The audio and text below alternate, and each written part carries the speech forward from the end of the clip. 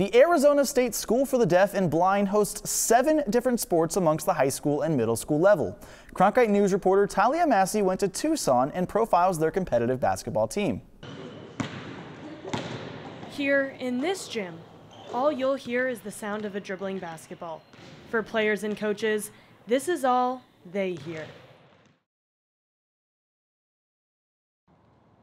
That's because this gym belongs to the Arizona State School for the Deaf and Blind, and basketball is one of their most popular sports. In basketball, I like the different aspects of it. There is a lot that goes into playing basketball. There is defense and offense. You have to know specific moves to go past your defense. For players like Dalton Green, their ability to play a sport like basketball comes from a reliance on their other senses. I'm very reliant on sight and mainly that's it, and touch. Still, communication for these players can be a challenge.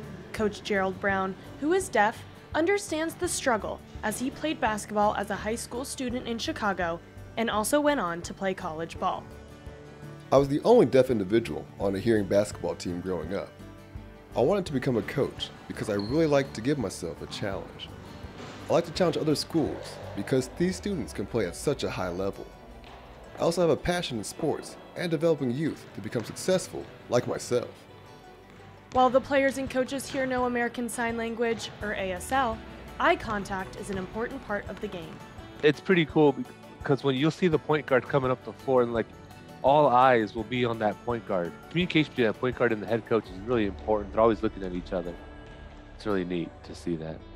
I think we communicate a lot and we have a lot of secret terms, and Coach always instills in us the importance of teamwork and how we need to communicate. When playing teams with hearing players, ASDB's communication strategy is like a secret language. We have our own signs for the plays and for the other team that they don't know. It's like, what are they doing? What play are they doing? But it doesn't always work smoothly. If someone is behind me, I can't hear them, and they could steal the ball. We can't hear what they are calling out for plays or if they're calling other players to come defend you. One of the biggest challenges they face is communicating with the referees.